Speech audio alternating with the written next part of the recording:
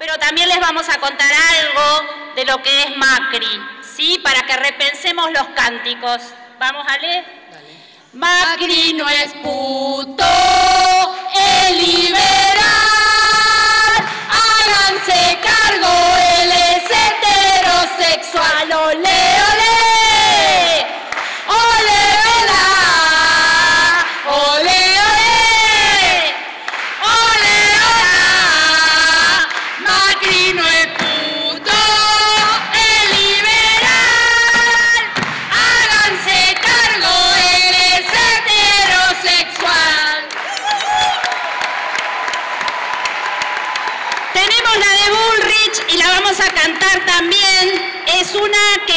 Para la asamblea de Bolsón, eh, la asamblea feminista que fuimos a hacer hace pocos días a Bolsón en solidaridad con las compañeras de los territorios que están siendo más atacadas en este tiempo y atacados los compañeros mapuches que viven en aquella zona. A la Bullrich, las asambleístas de esa asamblea le cantábamos, por eso va a estar la palabra asambleístas. Eh, como era, no nos unen las vaginas, las asambleítas, repudiamos a la Bullrich asesina. Bueno, ahora voy a hablar de la parte que me tocaba sin los cánticos. Eh, quiero hacer una intervención aquí que en teoría, si me da el tiempo, va a tener cuatro partes. Son todas independientes, así que puedo ir raleando este, en la medida que no nos alcance el tiempo. En la primera parte voy a hablar un poquito de este Congreso y algunas cosas que estoy pensando en relación a las interpelaciones a la escuela.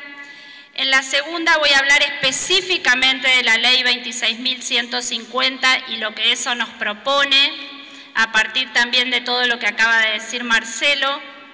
En la tercera parte me gustaría hacer alguna mención a la construcción curricular en el nivel medio que estamos atravesando en la provincia de Neuquén. Y en la cuarta parte quisiera retomar algunas cosas del documento que elaboramos en aquella comisión en el año 2008 y que Marcelo trajo recién, porque revisándolo a instancias de este Congreso, encuentro que muchas de las cosas que están en ese documento podríamos traerlas para exigir al Consejo Provincial de Educación la política que nos merecemos en términos de educación sexual integral y las propuestas que allí estaban. Creo que están ampliamente vigentes. Eh, bueno, en relación a, a este Congreso, Primero decir que este Congreso se proyecta y se proyectó como una invitación para pensar, pero también para actuar. Que tenemos intencionalidades políticas, pedagógicas, educativas y formativas a la hora de pensar este Congreso. Que trabajamos apasionadamente durante dos largos meses para generar esto que yo creo es un verdadero acontecimiento educativo y que lo que pretendemos es que recupere gran parte de lo andado, pero también que profundice aún más los modos colectivos en los que queremos hacer y habitar la escuela pública, porque estamos convencidas de que necesitamos cada vez más de salidas pedagógicas colectivas, de propuestas pedagógicas colectivas. También decir que entiendo que este Congreso no es en el vacío social, como no lo es nada en realidad, pero quiero destacar eso de este Congreso. Este Congreso era impensable quizás en el 2008, en el 2009, cuando estábamos elaborando ese documento o antes incluso en todo ese tiempo de trabajo de educación sexual que, hubo en las escuelas de Neuquén desde hace décadas.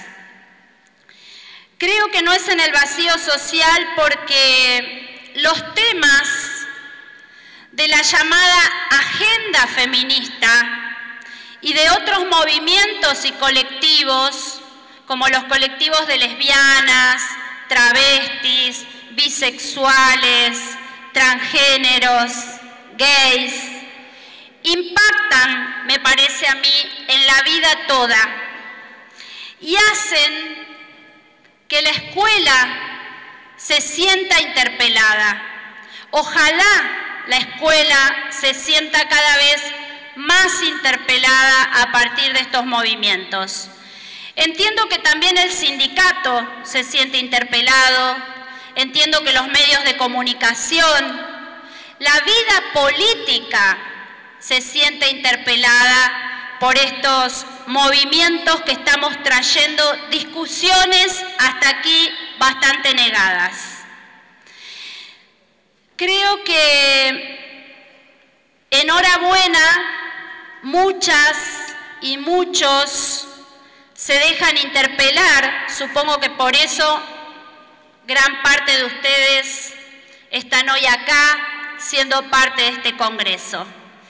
Y entiendo que ante las interpelaciones que tenemos en la vida cotidiana escolar, podemos responder al menos de dos maneras se me ocurre a mí.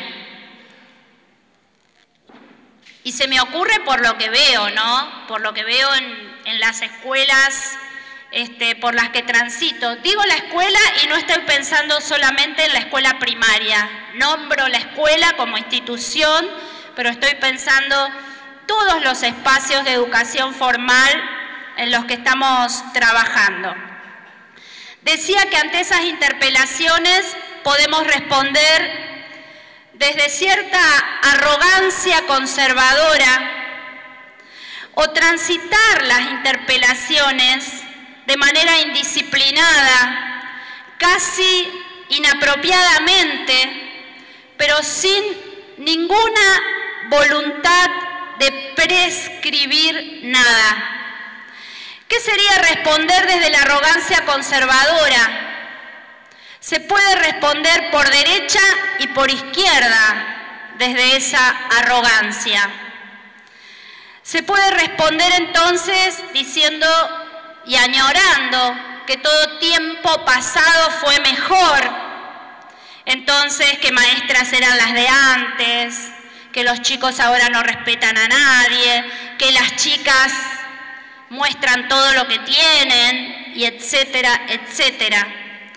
Por izquierda, desde esa arrogancia conservadora, se puede seguir subestimando e invisibilizando los temas que traemos porque siempre habrá una contradicción principal, porque siempre las contradicciones se van a jerarquizar y porque entonces hasta que no cambiemos este estado de cosas vinculado a las clases sociales, hasta que no cambie esa contradicción principal, las relaciones desiguales entre varones y mujeres y con travestis y trans, vaya a saber, no van a cambiar nunca. Pues creemos que esas son respuestas de una arrogancia conservadora que niega que los temas que traemos vinculados a las sexualidades, los géneros, los racismos, las colonizaciones varias son importantes.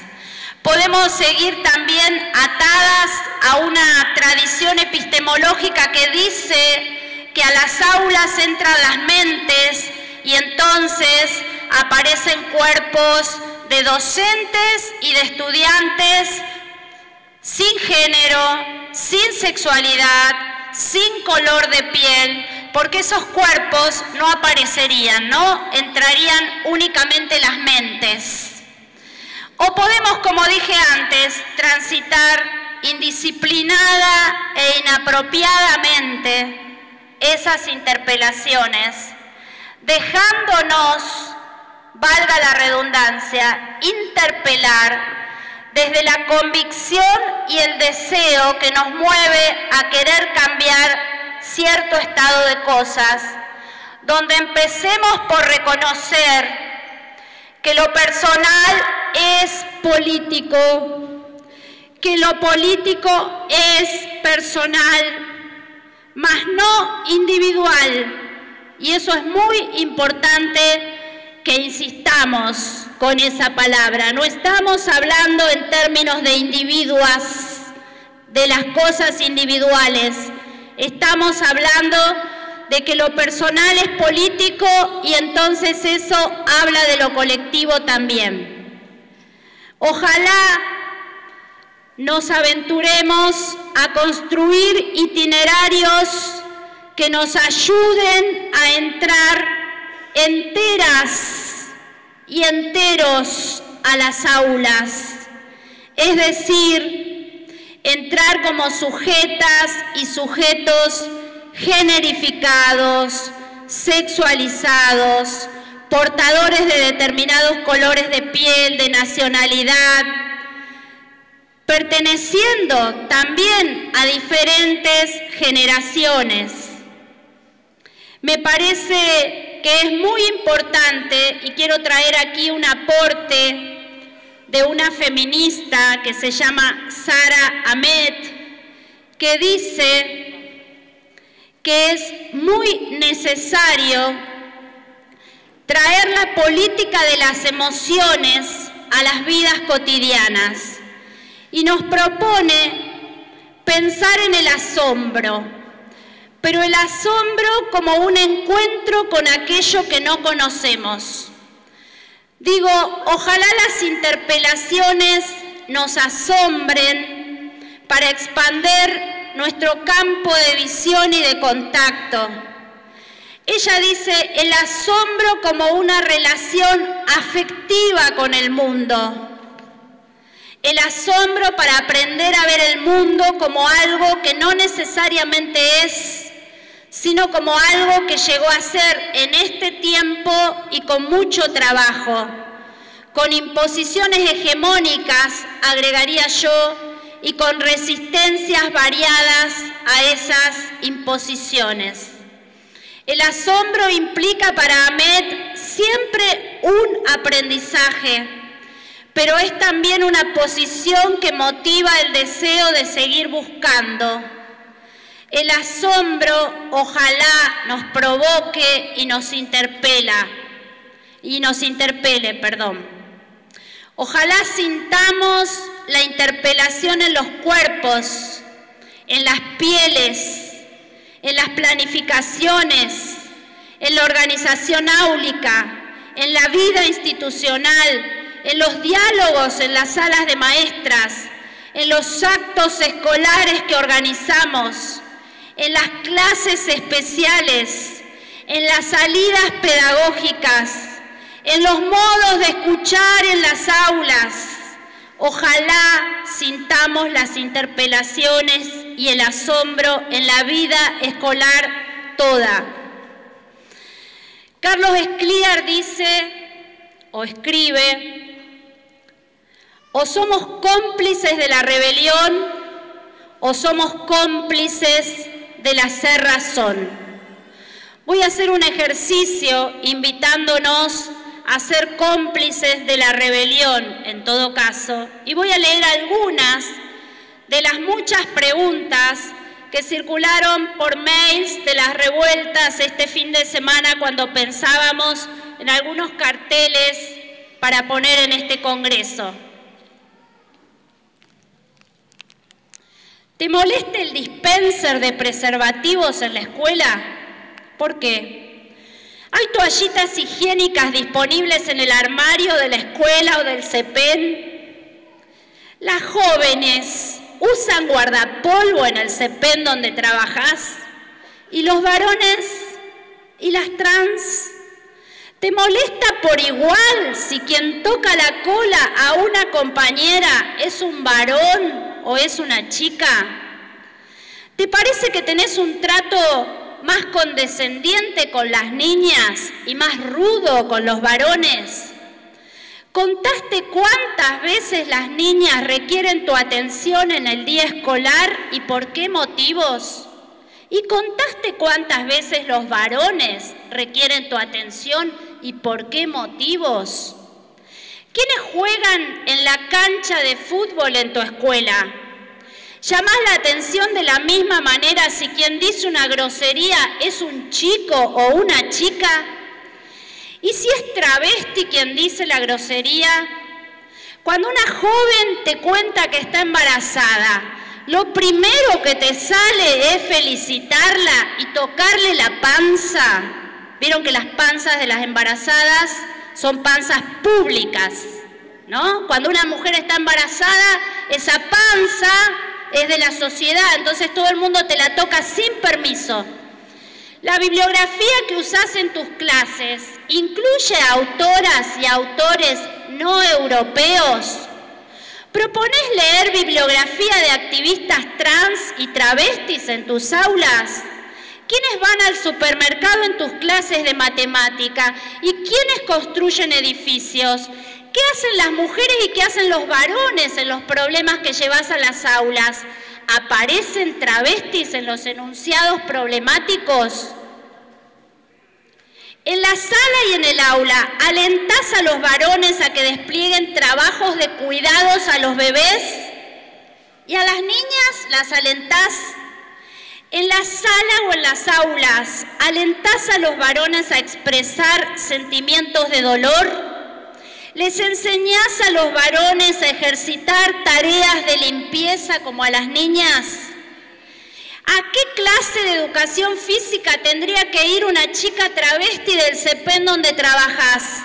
¿Y qué baños considerás que tendrían que usar las jóvenes y los jóvenes trans en la escuela donde trabajas?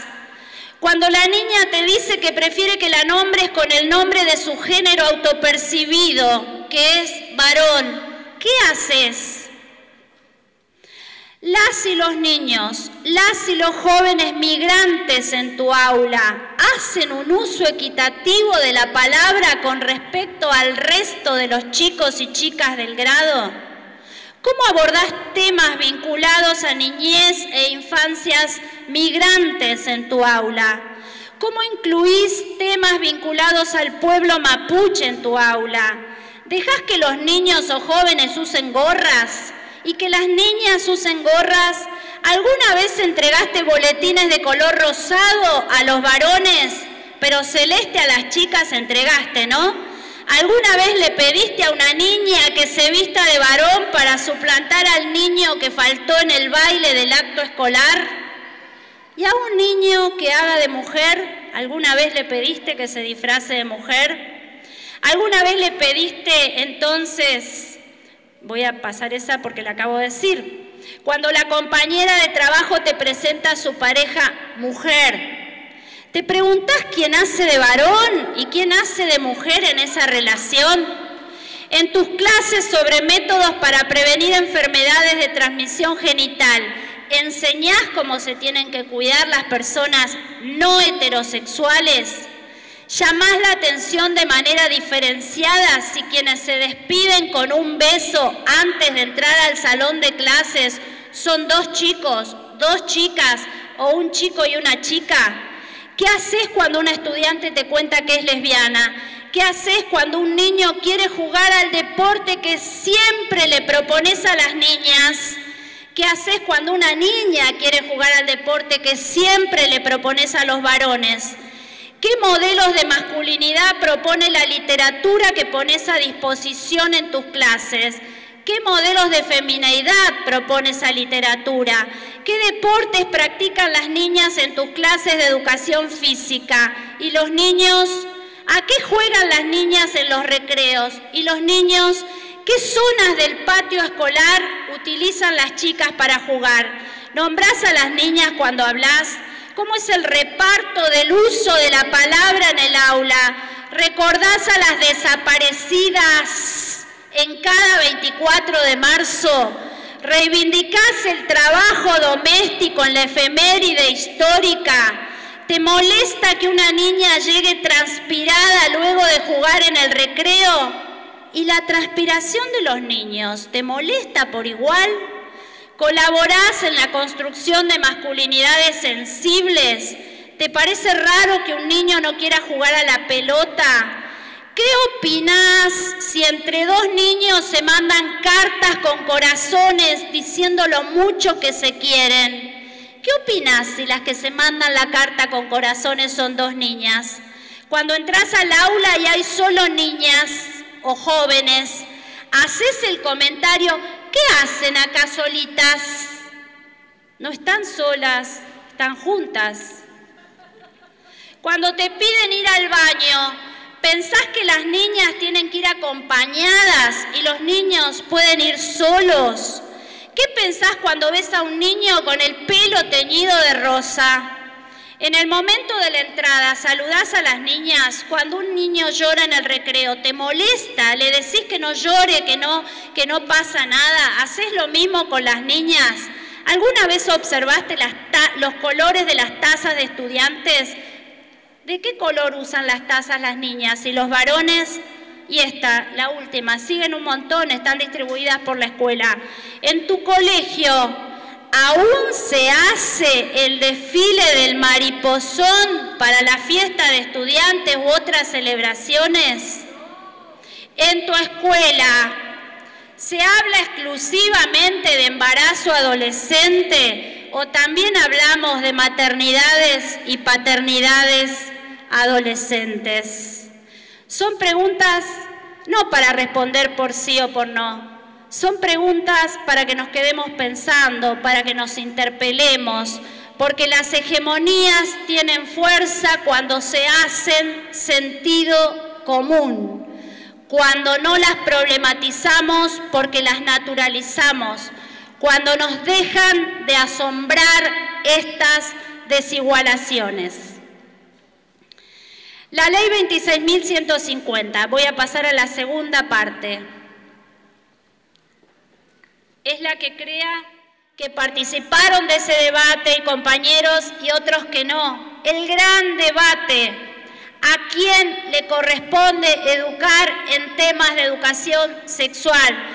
Fue un debate con los sectores más conservadores de las jerarquías eclesiásticas de las iglesias católicas y evangélicas. Y esto no quiere decir que no haya derecho a ser creyente como docente. Estamos diciendo que esos sectores hicieron lobby para evitar la sanción de esta ley, considerando que la familia es quien debe educar en estos temas.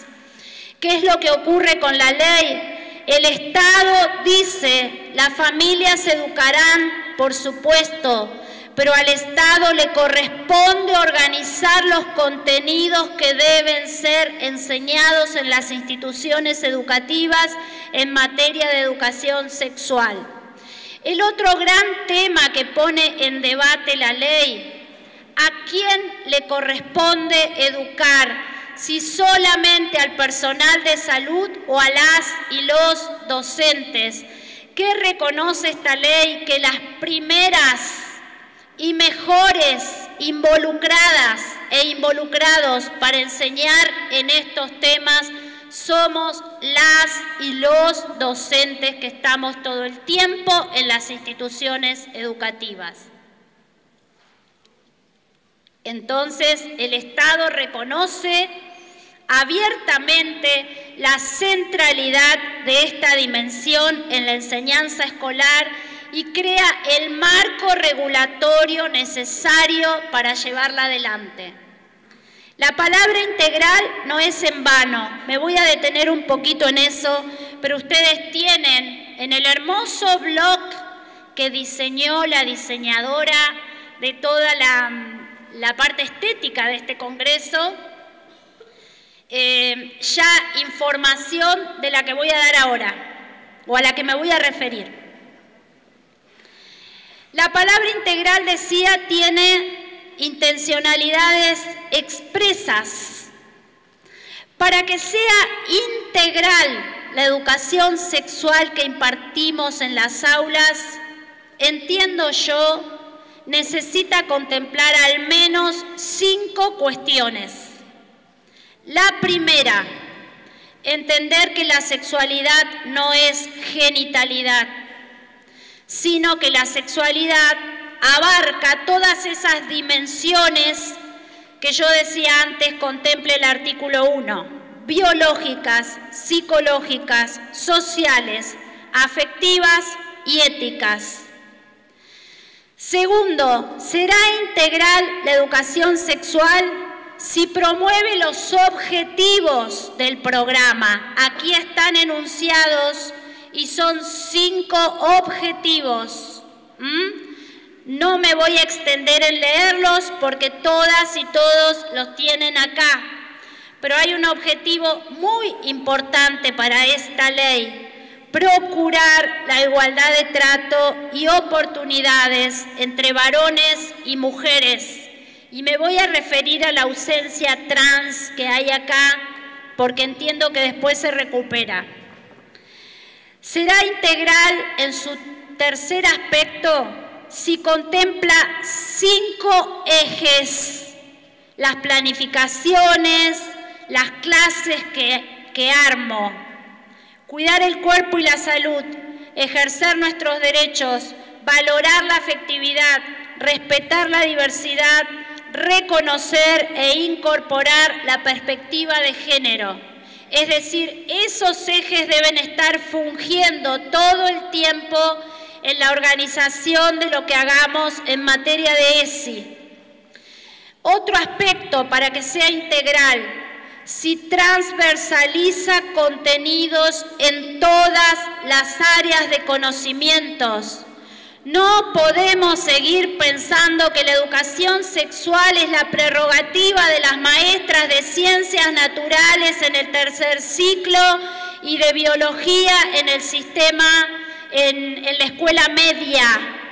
Transversalizar todos los contenidos es pensar cómo la ESI está presente en todos los temas de enseñanza y les aseguro que no es nada difícil. Les aseguro que tenemos los lineamientos curriculares que nos ayudan y nos organizan para pensar cómo incorporar la ESI en cada una de las áreas de conocimiento. Gran parte de las preguntas que estuve leyendo antes tienen que ver con esa posibilidad de transversalización. No hay ESI en las escuelas si en las clases de lengua y literatura sigo enseñando solamente las biografías de los grandes hombres. No hay ESI si en la clase de literatura sigo poniendo a disposición los cuentos de las cenicientas que esperamos que vengan los príncipes a salvarnos, porque tenemos que insistir que los príncipes azules no existen. No hay ESI en las aulas si seguimos pensando entonces que la literatura tiene que promover que los varones tienen que demostrar siempre fortaleza y virilidad. El quinto aspecto para pensar que hay ESI en las escuelas, si reconfigura la organización de la vida institucional a partir de los cuatro aspectos anteriores que dije. ¿Por qué estamos hablando de reconfigurar la vida institucional? No sirve de nada que la maestra de tercero le enseñe a las niñas que merecen ser nombradas en el lenguaje y que la directora a la mañana insista con invisibilizarlas o las visibiliza en el saludo o habrá que enseñar a nuestras niñas que no saluden eso es educar para otras subjetividades a las niñas también y a sus compañeros varones, porque esto no se trata solo de un tema de niñas. Vamos a insistir con algo. Hay educación sexual en las escuelas todo el tiempo. Lo que no hay todo el tiempo es educación sexual integral. No sirve de nada que la maestra de quinto, cuando va a preparar el acto del 11 de septiembre para el gran maestro Domingo Faustino Sarmiento, que siempre fue viejo, ¿vieron?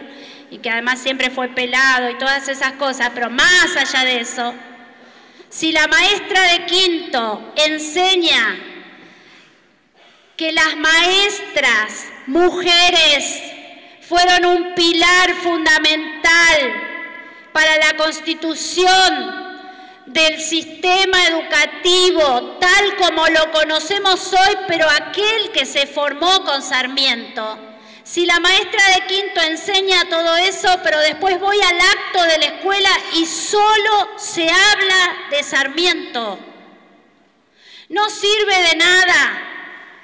Si la maestra de sexto enseña que los cuerpos de las niñas no son cuerpos disponibles para ser tocados todo el tiempo, que los varones aprendan que apoyar en el colectivo es un delito, que, los varones entiendan y aprendan junto con esa maestra preocupada por enseñar estos temas, que tener escote no da derecho a decir que nosotras los provocamos. De nada sirve enseñar eso si después voy al acto escolar y las niñas bailan de odaliscas para que los varones silben, las miren y les griten sobre lo mal o lo bien que bailan. Porque vuelvo a poner el cuerpo de las niñas disponible para la mirada masculina. Todo eso es reconfigurar las relaciones en la escuela también. Y hay que desnaturalizarlo porque así pasan todos los días estas cuestiones. Mitos que destierra la ley 26.150 si la vamos a aplicar en los términos que la ley promueve. Que la sexualidad se reduce al sexo, y por supuesto al coito y por supuesto al coito heterosexual. Que enseñar sobre sexualidad implica necesariamente hablar de genitalidad y reproducción, otro mito que destierra. Que el saber médico es el único autorizado a hablar en la temática. Que quede circunscripta a ciencias naturales y biología, como dije antes. Esos mitos están asentados también en tradiciones sobre las que enseñamos educación sexual cuando no hay educación sexual integral. Y esas tradiciones que muy bien nombra Graciela Morgade en un texto sobre la educación sexual integral y la deuda, dice ella, que tiene la educación sexual con la perspectiva de género, ella habla de tradiciones no porque son cosas del pasado, tradiciones porque están encarnadas en el día a día escolar. Habla del enfoque biologicista, de la perspectiva biomédica, del enfoque moralizante, como tres enfoques que permean la manera en que enseñamos y aprendemos sobre educación sexual. Hay que desterrar esos enfoques si queremos que sea integral la educación sexual que trabajemos en las aulas. Otros dos modelos nombra Morgade en ese texto, el modelo de la sexología y el modelo judicial, le llama ella, un modelo que se ha instalado mucho en el nivel inicial, no porque no sea necesario enseñarle a los niños y a las niñas que no hay derecho a que nos hagan en el cuerpo lo que no queremos que nos hagan o que nos maltraten. Eso es muy importante, pero es acotado si solo nos quedamos en ese enfoque, que además nos lleva una energía alta porque tenemos que conocer mucho de leyes y hay todo un tránsito por los pasillos judiciales que no tenemos que hacer nosotras. Pero quedarnos únicamente en el enfoque judicial es cuanto menos acotado. Dije antes, entonces, que había otras leyes que tenemos que considerar con la ley 26.150, porque las personas trans y travestis, por ejemplo, no están nombradas en la 26.150. Y eso tiene que ver con que las leyes que surgen también son en un contexto. Pensar que las leyes, otro aspecto que me parece importante, las leyes no son nunca el techo son siempre un piso de posibilidad y desde allí podemos seguir avanzando. Entonces, otras leyes que me parecen muy importantes tienen que estar como haciendo de paraguas y soporte de la 26.150. ¿Por qué? Porque conforman un plexo normativo, como le gusta decir a las abogadas y abogados amigos que tengo, un plexo normativo que, están como apoyándose mutuamente. La ley 26.485, que es la ley para prevenir, sancionar y erradicar la violencia contra las mujeres. La ley de medios de comunicación también es parte de, todas estas conquistas de derechos.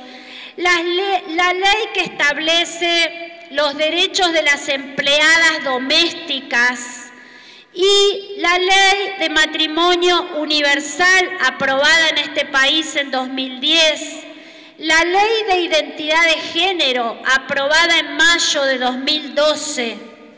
Su articulado implica, como decimos, un acto simbólico de gran alcance.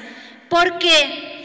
Porque por lo menos hay cuatro operaciones discursivas que trae la ley de identidad de género para que pensemos también en las aulas. La desjudicialización, porque el DNI se puede cambiar ahora en un registro civil y no hace falta la autorización de un juez. La desestigmatización, porque se penaliza la discriminación a personas trans la descriminalización, porque el Estado reconoce que las personas trans tienen derecho, la despatologización, porque no se requiere decir me siento con disforia de género, me siento enfermo para ir a pedir tratamientos de hormonización a los hospitales. Voy a decir que es muy importante que pensemos ¿Cómo enseñamos sobre las vivencias de otros cuerpos en las instituciones educativas? Me gusta traer una pregunta cuando trabajo con docentes sobre estos temas. ¿Quién de ustedes ha construido una mirada que nos permita no horrorizarnos por el cuerpo travesti circulando por la costa del río Limay en verano, como circulamos los cuerpos nombrados como mujeres o varones.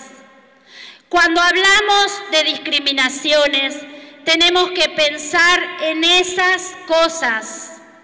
¿Cuántas de las personas que estamos acá nos bancamos que una compañera travesti enseñe en la sala de cuatro años, de cinco años, no ya del jardín donde trabajo, de mi hijo o mi hija, si soy mamá. Sobre eso tenemos que ponernos a pensar cuando pensamos en estas cosas porque las discriminaciones pasan así, solapadas, como dijo una estudiante transexual del Instituto de Formación Docente número 12, donde por supuesto se hacían muchas bromas en preceptoría Hasta que un día le dije a un compañero preceptor, cuando salió Paula de la preceptoría, mucha broma, mucha broma sobre Pablo, sobre Paula, vos y el secretario. Seguro consumen prostitución travesti a la noche. De eso no se ríen, ¿no? Qué exagerada que sos, me dijeron. Sí, hay que poner las cosas en su lugar, ¿no?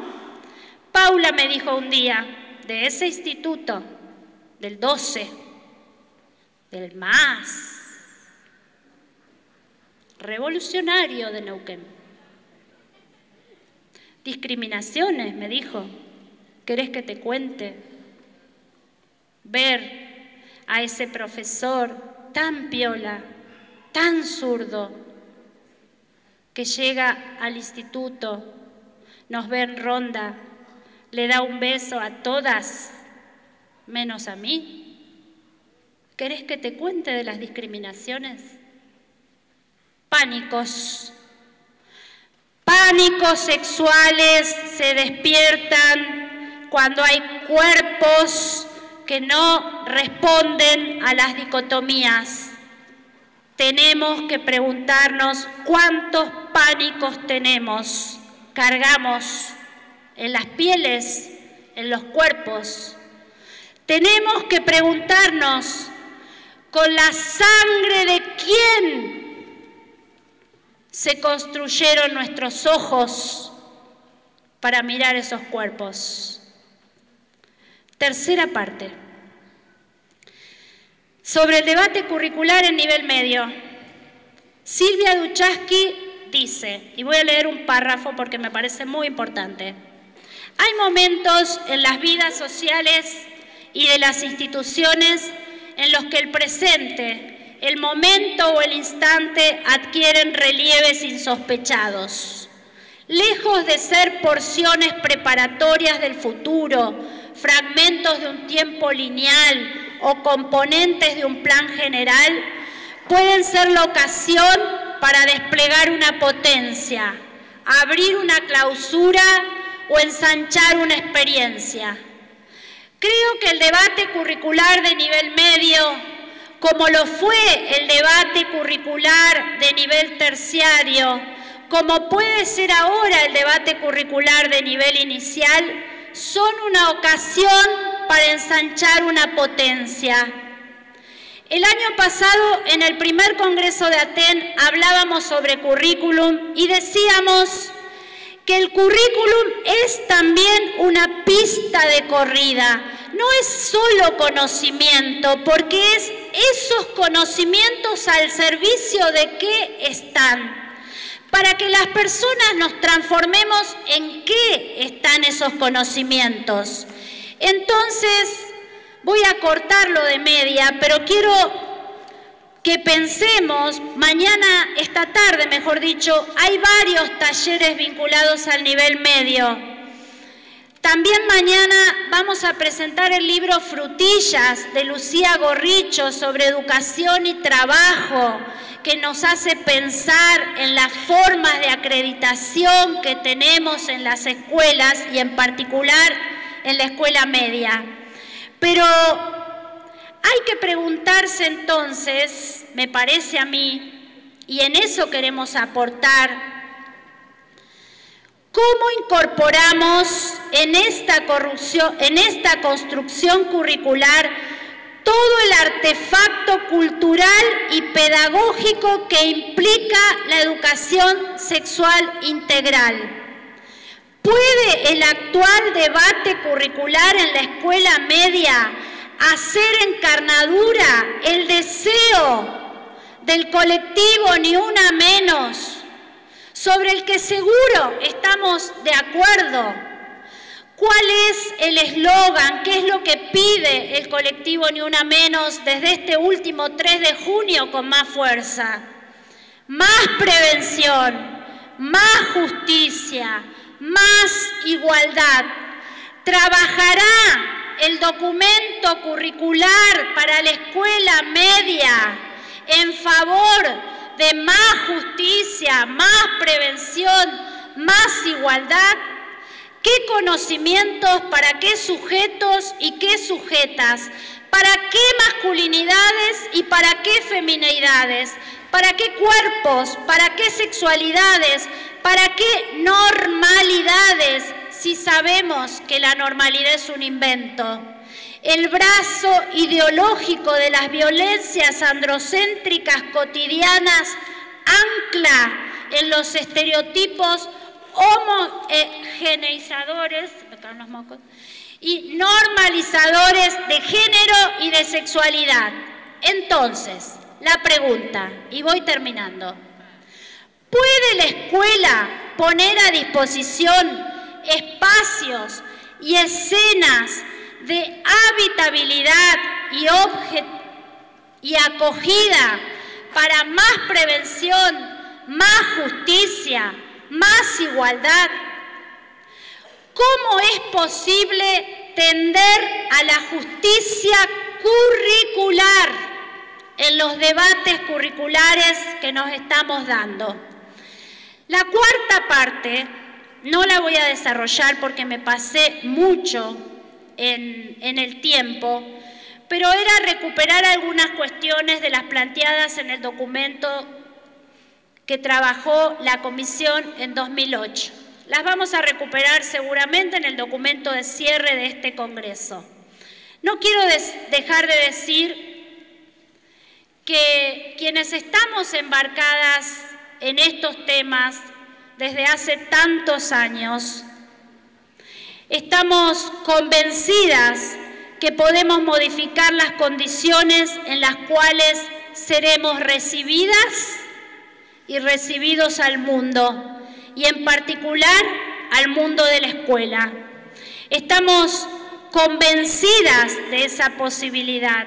Algo puede la escuela, no puede todo, pero estamos convencidas de que algo puede y que necesitamos proyectar colectivamente unas relaciones otras distintas, diferentes con el mundo en el que vivimos, que necesitamos una pedagogía de la sospecha, de las sensibilidades, de la acogida, de la amorosidad, una pedagogía que nos interpele, una pedagogía de la escucha. Necesitamos ejercitar la escucha. ¿Y qué quiere decir Ruth cuando habla de la pedagogía de la escucha, de la acogida? Porque a veces suenan como lindas palabras, pero, ¿a qué refieren con eso? Voy a leer lo que le pasó a una estudiante y a una profesora en ese instituto al que me hago la viva y digo el más revolucionario, pero quiero mucho, porque trabajé ahí y porque creo que hicimos cosas interesantes. Y termino con esto. Es parte de un relato del libro Código Rosa, relatos sobre abortos. No lo dijimos en mi presentación, pero acompaño a mujeres a abortar con medicamentos desde hace siete años. A veces me hago la médica. Al salir de la clase, Mabel respira ¿Qué pensará Vela? ¿Cómo manejar la situación? Tienen que hablar. Vela la acompañó a abortar hace 20 días y ahora está ahí, es su alumna y sabe que ella, Mabel, su profesora, abortó. Está inquieta y a la vez sabe que algo se manifiesta en la incomodidad, algo que tiene que ver con los saberes, justamente, y con el poder. No sé cómo se sintió ella, dice Mabel textual, pero está todo bien. Fue un impacto para las dos. No sé por qué nos sentimos mal, me ayudó, me orientó, me guió. Sabía algo de mí que el resto de mis alumnas no sabía. Quizás fue eso. En el conocimiento todos podemos enriquecernos del otro. Ella tenía información que yo no. Ninguno es más o menos. En ese sentido, yo no me sentí invadida, aprendí, me sentí acompañada y orientada, sí, acompañada y orientada por una alumna. ¿No es maravilloso? Y Vela, la estudiante en ese momento del Instituto de Formación Docente número 12, que mañana presentará a Ana Abramoski en la mesa de cierre. Era mi profesora y yo sabía algo, dice Vela.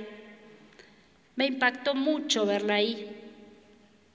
Yo la acompañé a hacer un aborto a mi profesora. Bueno, pasaron un poco, un par de meses y pudimos charlar. Y fue sano.